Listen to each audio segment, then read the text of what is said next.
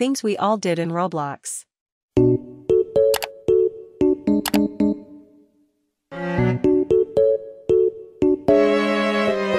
One, add everyone on the server.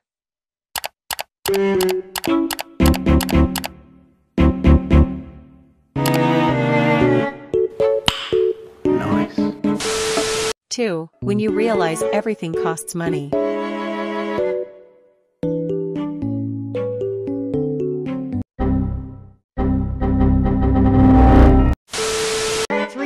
Try to get free Robux.